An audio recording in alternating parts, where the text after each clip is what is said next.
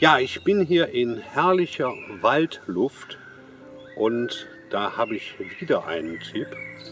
Wie schafft man es, dass die Meinung anderer Menschen einem völlig egal ist?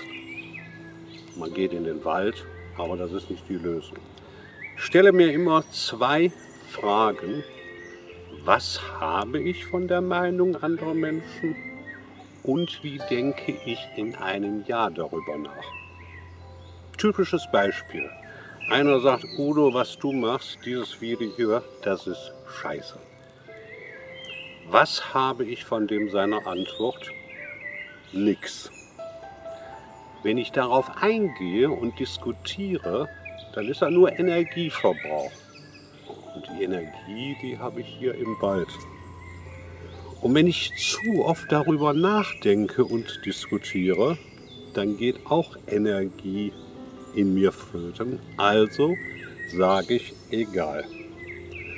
Und wie denke ich in einem Jahr darüber? Hm, da muss ich überlegen, was war da überhaupt? Wer war da überhaupt? Deswegen mein Fazit, wenn du ein Problem hast, stell dir diese zwei Fragen.